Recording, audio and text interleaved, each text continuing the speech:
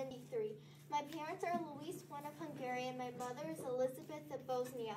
I have two sisters. Their names are Mary, Queen of Hungary, and Catherine of Hungary. Feast day and patron saints. My feast day is July 17th.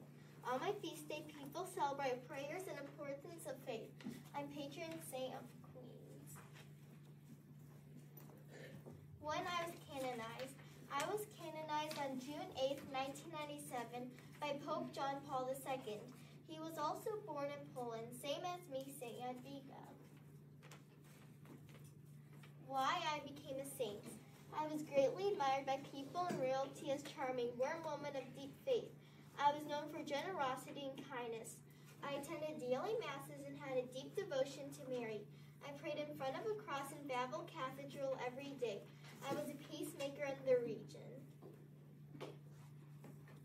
My significant life events.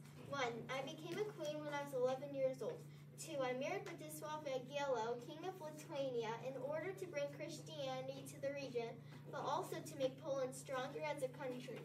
I prayed to God to help me make the right decision, and I introduced God to the people of Lithuania. Interesting facts about me. I speak Latin, Bosnian, Hungarian, Serbian, Polish, and German. Two, when I was 12 years old, I had to marry Władysław Jagiello, who was 35 years old.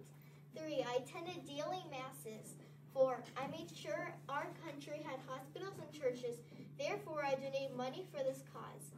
Five, I was in love with William of, William of Austria, but my parents wanted me to marry Jagiello. I prayed to God for guidance, and he advised me to marry Jagiello. Why I selected the saints. I selected the saint because I like to dress up as a queen and because mom's family is from Poland. Lessons and takeaways. What lesson does the saint teach us? To be kind to others and to have deep faith. Timeline of my life. 1373 is when I was born. October 16, 1384 is when I was crowned queen. And February 15, 1386 is when I got married. I died on July 17, 1399 at age 25 or 26.